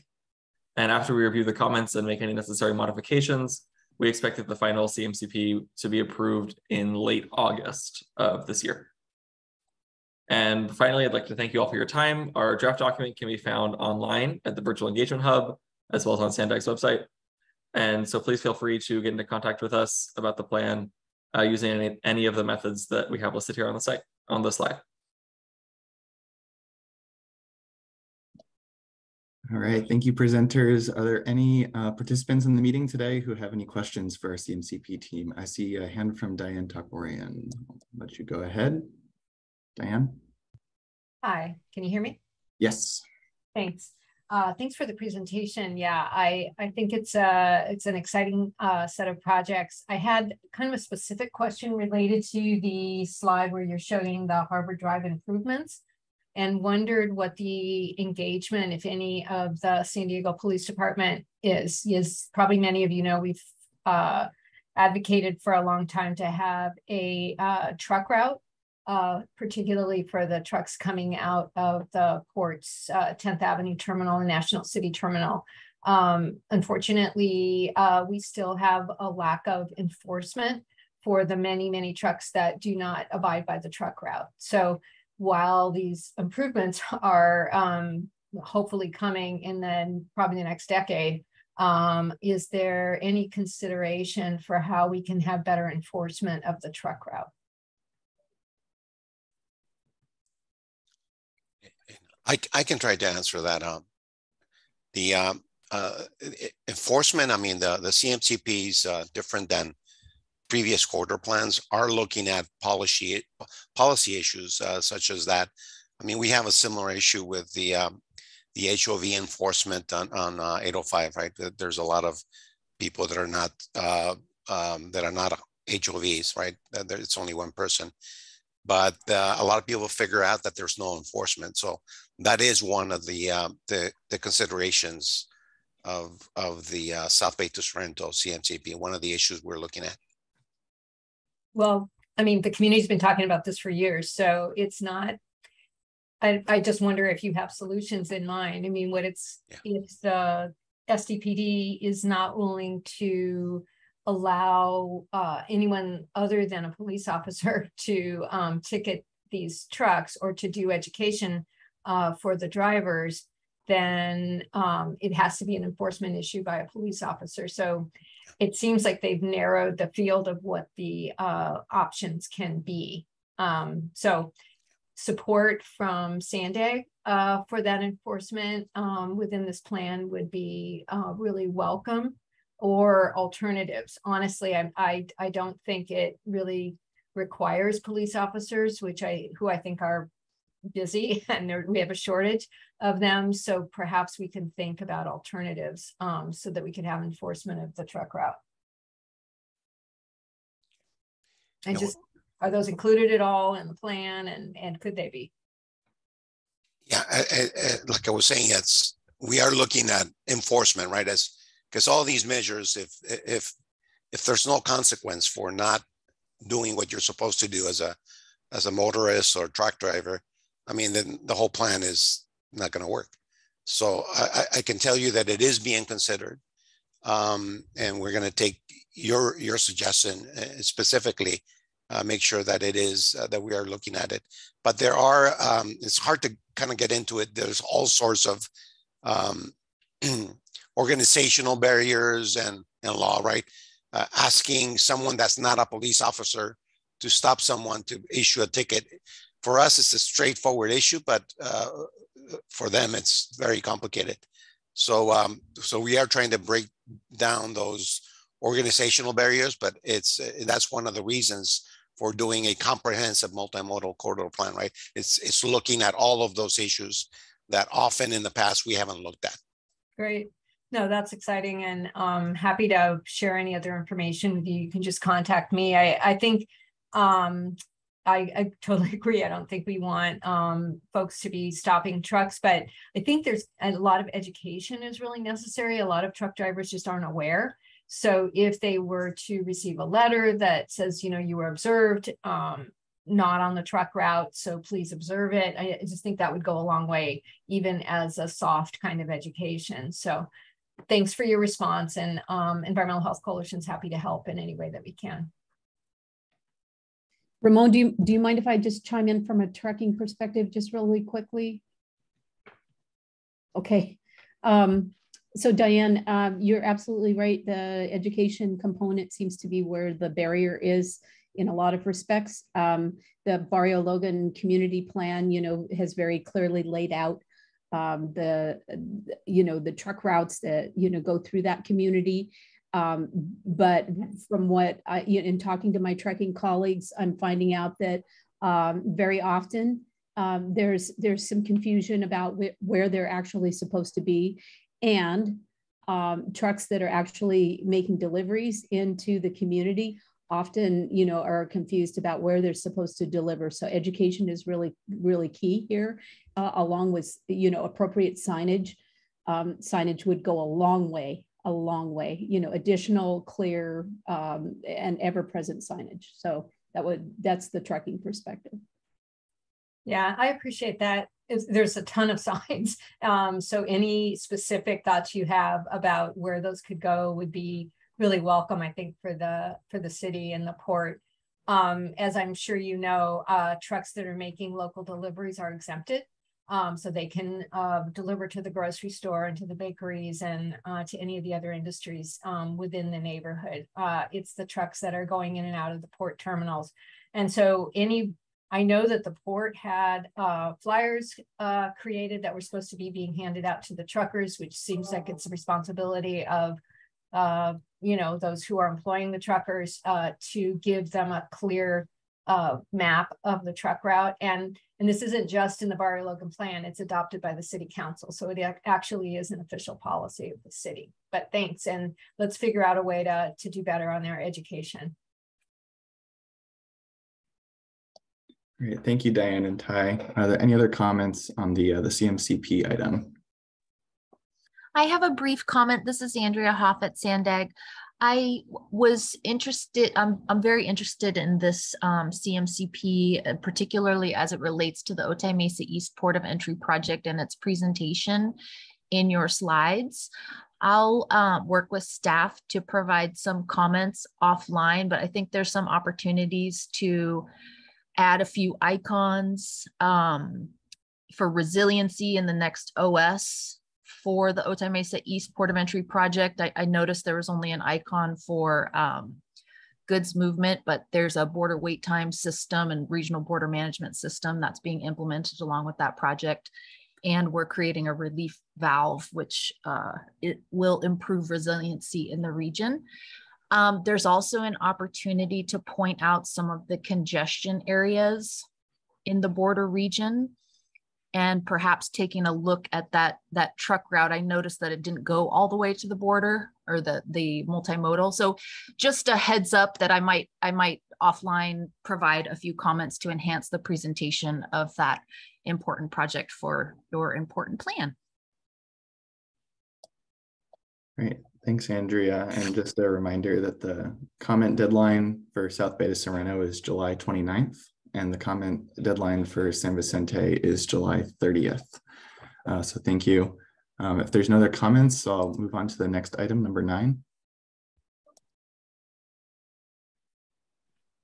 All right, so this is agency updates, freight stakeholders agency updates. I have a couple, but I'm um, inviting anybody else, any other agencies who have an update to share here at this time. So please raise a hand or start talking either way you have any updates?